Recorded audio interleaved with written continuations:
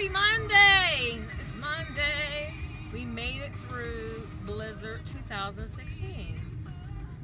We didn't get slammed like the weatherman stated. It kind of stayed like in the DMV, Washington, D.C. area, and I'm not happy that they got slammed, but I am happy that we didn't. Okay. Um,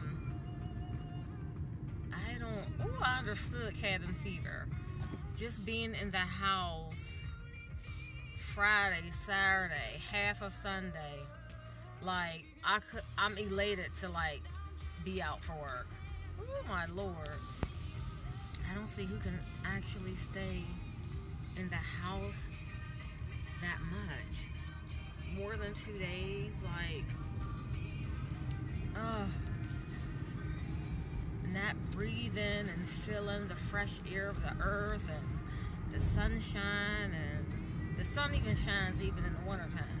But to just stay cooped up, oh Jesus. Cabin fever isn't a good thing.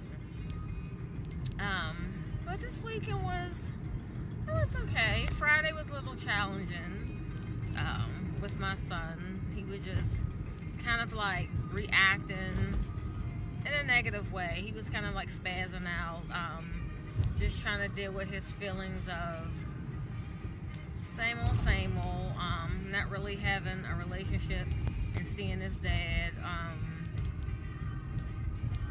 it's just. Uh, they basically like have a texting relationship. Um, no time really is put in, and Jared just kind of had a moment. Like when I say a moment, a moment. Like I said, it was not good.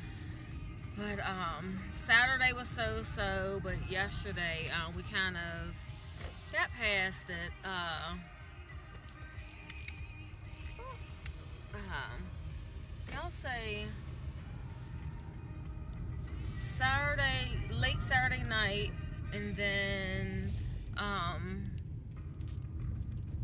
Sunday, kind of like immediately after church. But it was it was a tough one, I will say. It was a little tough. Um, but prayer changes things. Having people in your corner changes things. Um, the way you raise your children changes things. This snow is no joke. I swear, every time I park, I get so excited because I know my father will be proud of me. Sliding and still whipping it. Am I on the curb? I can't tell. Okay, I guess this will this will be kind of like um like the time when um I would say like in the summer when not this summer, but I'll say like summer before last, he was having a few problems and I guess it's and then he's at that age. I was talking to uh, my pastor's wife about it and she said, you know, kids, they just get at that age. 13 is kind of when it starts and she was sharing as far as like um, what she experiences with her daughters like a lot of anger and and they're in a two a two parent household um you know it's just fighting against the enemy. The enemy wants our kids. But of course like when you have other dynamics as far as not having the additional parent um it kind of makes the fight a little more harder. You have to be a little bit more strategic how you're fighting and all that stuff. It's a little exhausting though. I mean it is. Um, it's a difference when you don't have one parent actually involved like they should be, and then when you don't actually even have a parent in the house. Because I really feel that what makes a well-rounded child, even when um, two parents are no longer an item, you know, things happen, and that's great. However, um, if I was already married by now, which Lord, okay, I'm still waiting. Um, but getting married is the easy part. You want to be with the right person, especially when you have kids.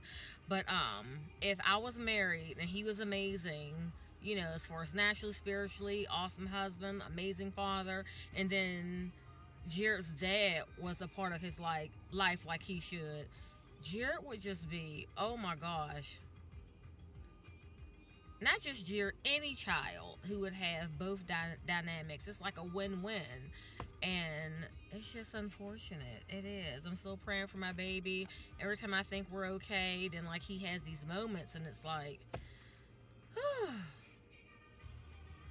you fathers, I tell you, you absentee fathers, God is going to deal with you. He is, um, in His own time and in His own way. But until then, continue to pray for my son, you guys. God bless you, and thank you so much. Um, yeah things are fine. Things are going to be fine. Like I said, we push through. We um, get through things with prayer, with talking, and just knowing God is going to continuously fight our battles, and we win. Not even in the end, we're winning now because we are a chosen generation. And it doesn't matter that he's 13. It doesn't matter that I'm in that generation that I'm in we're followers of Christ, so we win regardless. So, um, yeah. Alrighty, again, thanks for watching, you guys. God bless you. Bye bye.